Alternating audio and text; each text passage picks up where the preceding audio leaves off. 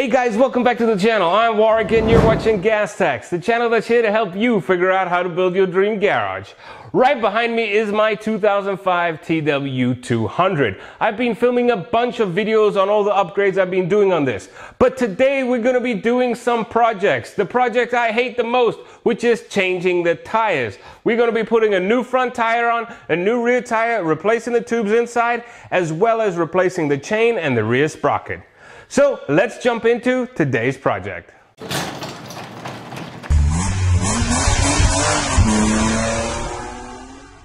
So if you're new to the channel, thanks for stopping by. Consider subscribing if you like what I'm doing. And if you're a long-time subscriber, always good to have you back. Now today we're doing my worst task ever. I hate changing tires. I've tried a bunch of times. It's a pain in the you know what. So I am not going to be doing a how-to. It's more like me going to show you what I'm doing. And if you like to follow this how-to, be sure to. So guys, since I'm replacing everything with the stock chain, stock sprocket, and stock tires, I'm going to mark where everything currently lies now. I use this thing called cross-check. It's a tamper-proof uh, marking mechanism. This you put on things to visually see if they've loosened up. So I'm going to do that on this uh, snail gauge thingy here. That way I know where it's left off. And I'm going to do it on the other side. And then I'm also going to mark where this is because you'll be able to slide the axle back and forth. Now on this side, there's quite a bit more things. Again, I'm going to mark here. I'm going to mark here. And then I'm also going to mark um, where the rear brake attaches to along with the thread. That way everything is in the same spot. Obviously I can adjust it if I want, but this just gives me a mental uh, reading of what everything is when I put it back together. All right, now that that's done, I'm gonna crank up some music for you guys while you watch me move super speed to take off the rear wheel.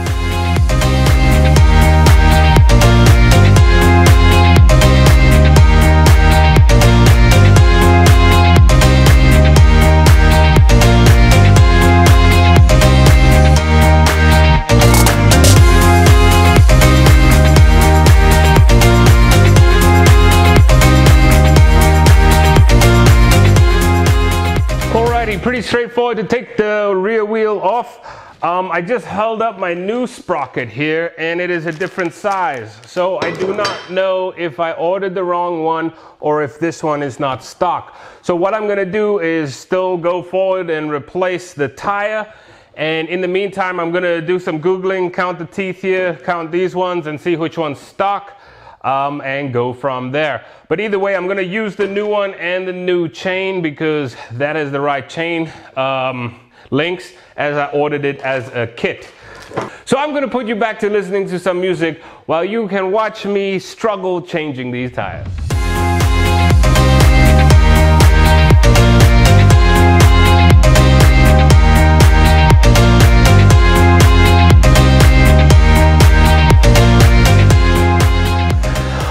Guys, so it's been about two weeks since I filmed that lost footage. I decided to go on a one week RV trip with my family to see how I actually live in the RV before I start that build.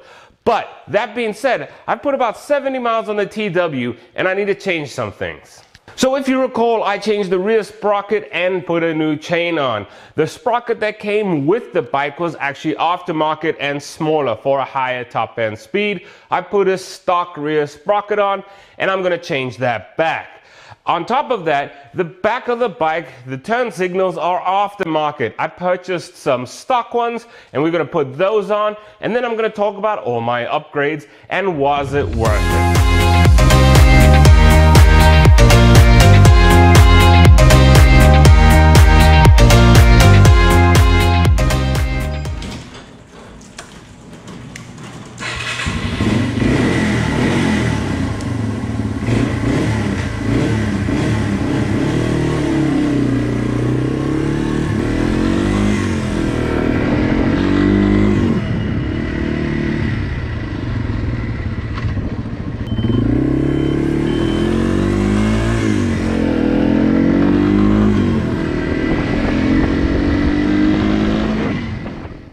Alright guys, so my 2005 TW200 build is complete. So let's go over everything I've done and remember there are videos for everything I did. Just check them out in my playlist and let's go over what my thoughts are now. So I started off with the general engine service. I did the oil change, filter change and spark plug change. Everything went fine there. From there, I put a much beefier and better, bigger skid plate on the TW. I put a new chain on there. I put a new rear sprocket on. I put a stock rear sprocket, which is 50 teeth. Then I went and upgraded the pegs to much bigger, about four times bigger than the stock pegs. I put a nice big rear rack on the back. I put new front springs, a new rear spring, put new handlebars on, upgraded the headlight. Then I also put some ditch lights on.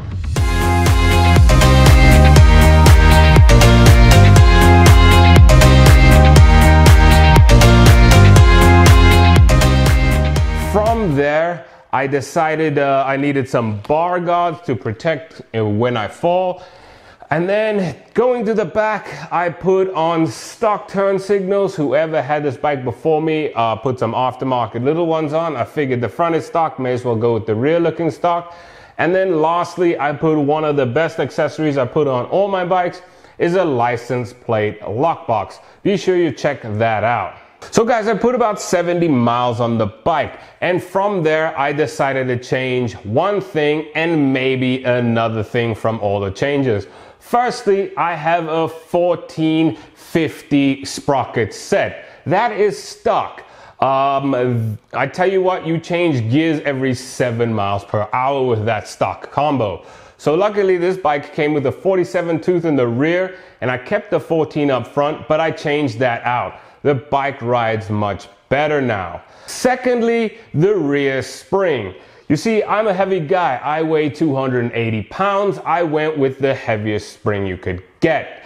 I kind of regret that. The ride is like riding a brick. So, if you are maxed out at 280 pounds with your gear, I still wouldn't recommend this. Even though Pro Cycle does, I would go with the medium spring. I'm gonna ride this uh, shock for a while, off-road, on-road, or the spring, and see if it breaks in, if you will. And then if not, I'll be switching to the one below, which is about 20% from stock. This is 40% stiffer or 60% stiffer from uh, stock. So all in all, this bike is great. It's a fun little fool around bike or it's a fun first bike or it's just a great bike. But for me, it is my recovery bike for my overlanding adventures that I'm going to be starting next month and beyond. So, What's next for the channel? Well, guys, I have plenty more. I have a 2020 uh, Ford Expedition Overland build coming up. I have a 2020 uh, Jeep Gladiator Overland building up. And then I have my camper. I have a Winnebago 2306 uh, Micro Minnie camper that is not really overlanding or off the grid. So I'm gonna make that completely off the grid and then potentially, hopefully, um, gonna change out the axle suspension and do independent suspension on the camper. So guys, plenty to come. Be sure you like, subscribe, and check out all my other videos on the channel. I have over 100 videos to help you figure out how to build your dream garage and fun project videos. So just a reminder, October, I'm giving away a $150 OmniWall Power Tool organization set. Be sure you leave a subscribe, thumbs up, and a comment below, then you're automatically entered to win. So until next time, guys, thanks a lot for tuning in, and I'll see you then.